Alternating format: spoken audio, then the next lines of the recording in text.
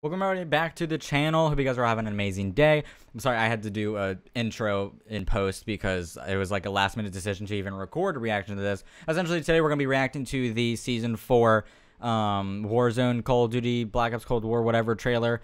Um, a lot of good stuff. Very excited. And uh, hell, maybe I might even get back into Warzone this season. You don't know. Right now I'm enjoying Fortnite a lot. But that doesn't mean I'm going to stop playing Call of Duty. I'm still in the works. I think actually, I think I can reveal it. Uh, I'm working on a special Call of Duty video.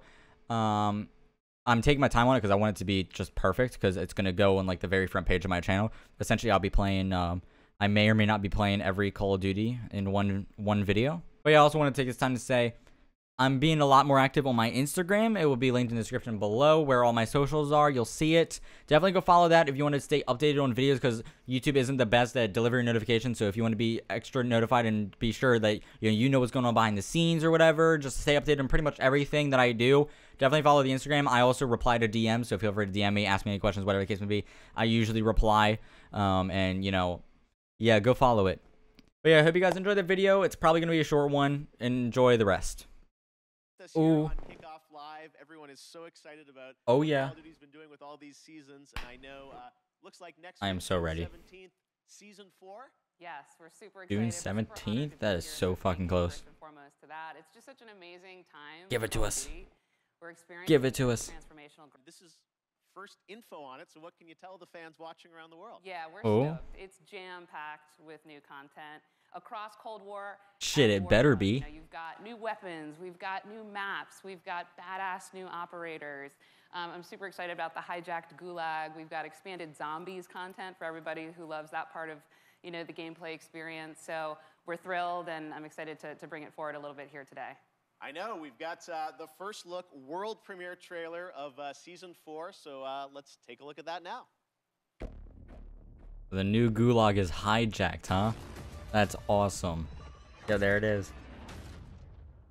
All right, here we go, boys. You are told, and you get to live. You understand?